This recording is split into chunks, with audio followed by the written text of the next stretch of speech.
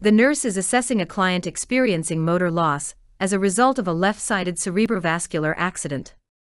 Which clinical manifestations would the nurse document? A. Hemiparesis of the client's left arm and apraxia. B. Paralysis of the right side of the body and ataxia. C. Homonymous hemianopsia and diplopia.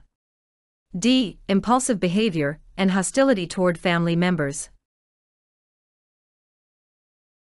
The correct answer is B. Paralysis of the right side of the body and ataxia. Rationale The most common motor dysfunction of a CVA is paralysis of one side of the body. In this case, with a left sided CVA, the paralysis would affect the right side. Ataxia is an impaired ability to coordinate movement. Homonymous hemianopsia and diplopia are visual field deficits that a client with a CVA may experience, but they are not motor losses.